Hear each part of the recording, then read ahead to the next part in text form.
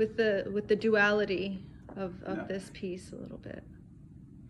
Hi, this is a really interesting painting for me for many reasons. One of the big reasons is that Andy Hayes decided to take it from a rolled up condition 10 years in a place where it never was seen. It was once seen in 1997 in a faculty show, in my show, in an art department at the School of Georgia, School of Art in Georgia.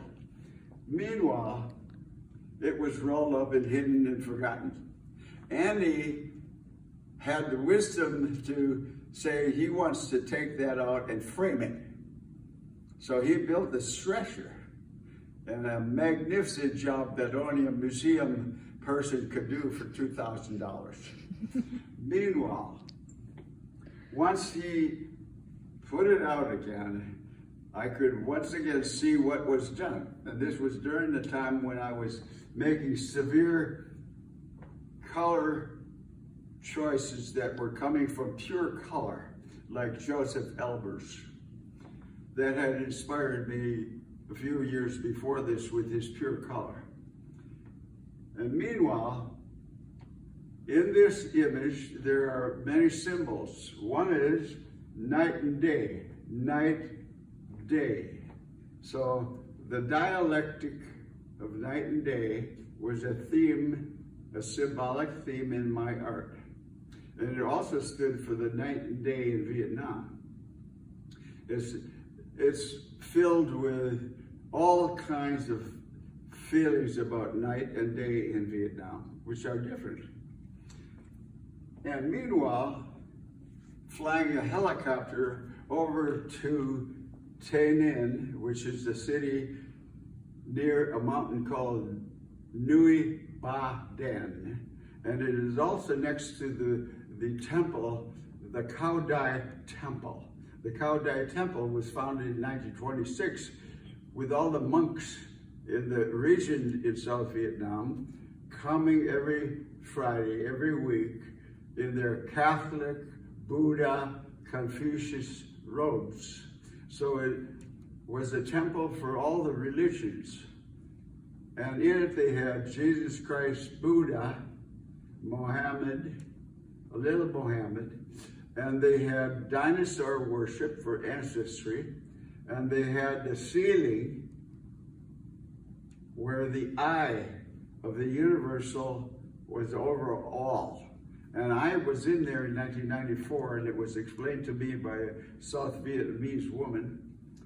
And when I saw the eye in the ceiling, it was overwhelming. And all the monks were in from all that area. And it had become then a symbol in my work. But this was on a trip over the terrain toward Tay Ninh, the city. Victor Hugo was a saint in there. So was Winston Churchill. So was Joan of Arc. It's all reflective of the French colonization in the 18th, 19th century. However, the uh, romance of it all was on any kind of flying into that area. You knew you were in history. And while this daytime flight over to Tay Ninh is dialectic with the night, so this is a mirror of that. Up above is also the tape of the studio work, but it comes from clouds that were to be shaped by the paint. And instead of shaping clouds by the paint, I left the tape up there and imitated it. Meanwhile, this is all reflective of studio activity.